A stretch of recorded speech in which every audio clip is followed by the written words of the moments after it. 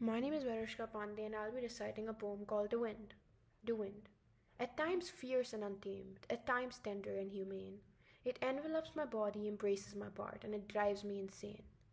It is unseen, yet its love isn't unfelt as it kisses me. Its love cannot ever be recreated by you, your love as minuscule as a pea. The wind is the sound of heaven in the trees, beauty in the least, joy at a feast, yonder up beyond, illusion in the pond, for it's an echo's response. It blows my hair, the dust of my past, with you on your face. It goes into my mouth, my organs, my heart, unlike your love, uneasy to digest, which holds no place. It whistles in my ears like a lover composing a melody for me, tunes of love, while you whisper criticism, harsh words within me, which hold back my win- wings, that of a dove wanting to flow high above.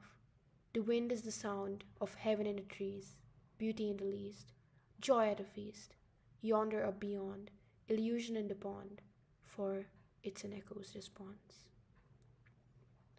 The fierce wind swipes my voice along it.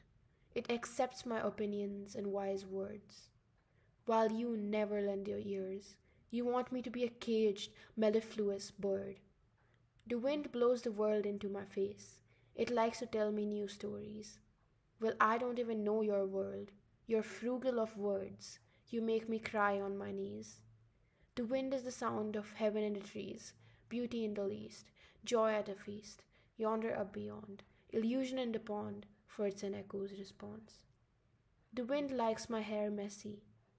The wind likes my eyes without liners and shadow, as it makes me squint, yet I see.